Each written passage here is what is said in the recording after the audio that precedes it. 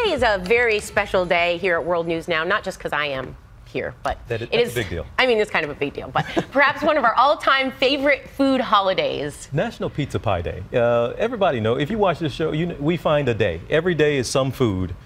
It's National Day, and we find it and we get it, and now we're talking about pizza. So I start off with a guy named Scott. His name is Scott Wiener, but he likes pizza.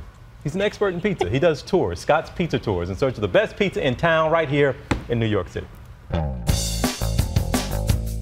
hanging out with my buddy TJ. So I'm gonna get a Soho square slice and I'm gonna pep- pepperoni square slice. Both corners.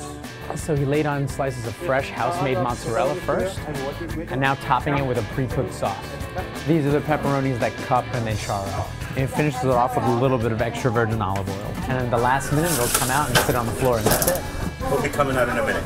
And we're into the territory of pan pizzas. So this is a style of pizza that's baked in a pan. It's a Sicilian pizza, but the sauce is on top of the cheese. So it's an upside down Sicilian pizza. I got you a corner slice, right. which holds up a little bit better.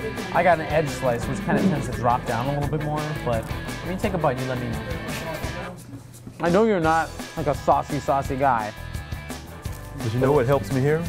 The thick crust with the sauce. It absorbs it. It's perfect. It's all about ratios. It's all about balance. Listen, all right, I got you one more slice that I want you to try. This is their pepperoni square. Okay, this is the one topping I'm letting you have, and it's not normal pepperoni. It's a natural casing pepperoni, so it means that the meat cups and chars around the outside is different from the kind of pepperoni that lays flat. Okay, it's going to be a little bit zestier, a little bit meatier.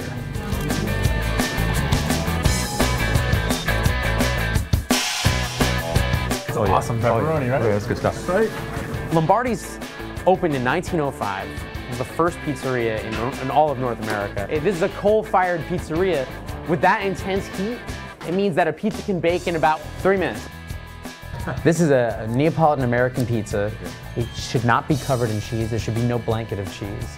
It should be dots like this. With fresh mozzarella, you can't shred it. It's too wet. So they have to slice it and put it in little dots like this. Insert the spatula, wrist twist. This way it separates the entire slice. And then instead of lifting up the slice and potentially dropping the front and losing some cheese, you elevate the plate and you do the snag and drag. I've been doing this wrong my whole life. Cheers. Cheers. Let's eat.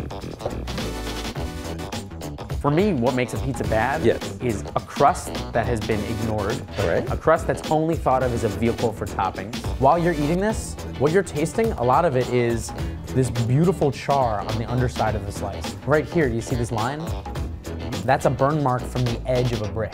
The crust has become a big deal to me now. This is good pizza. All right, this is Lombardi. This is the original. This is America's first pizzeria back in 1905, and they know what they're doing. They've You were doing just telling me how much you love carbohydrates. You go at it, help yourself. This is fantastic pie. Don't worry, I got it. And we have a.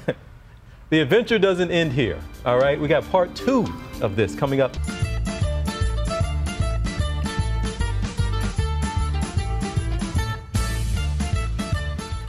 Today is National Pizza Pie Day, and in honor of this very special holiday, TJ here went out into the heart of New York City in search of the perfect slice of pizza. Been working on the heartburn for a week. Yeah, you don't eat carbs normally. That's a big a lot. move for you. Not a whole lot. Now, all three places I was taken to by Scott Wiener of Scott's Pizza Tours, all fantastic. One particular pie surprised me though. Look at this. Now, how long has this place been around? Rubirosa is part of a family of pizzerias that goes back to 1960. The way the oven works is it's a rotary oven, so it's got six panels that are moving around a central axis. This is our pizza. This is a classic, which is just a standard uncooked tomato uh, with low moisture mozzarella cheese, and that's it. So the cheese that we're gonna get on this is different from what we had at Lombardi's. This is a much uh, harder cheese, and cutting it into cubes is the way that they had to do because they had no cheese shredder back then. I hope you're not full. Cheese sauce crust, the absolute essentials. But trust me, when you bite into this, it has plenty of flavor. You do not need the meat topping. This is a pizza that the dough is made in-house, the tomato sauce is just tomato, the cheese is a, simple two-part cheese. There's pecorino and then there's mozzarella, and that's it. No spatula, it's a fingy situation. Of course, this is a much thinner pizza. The underside has no charring.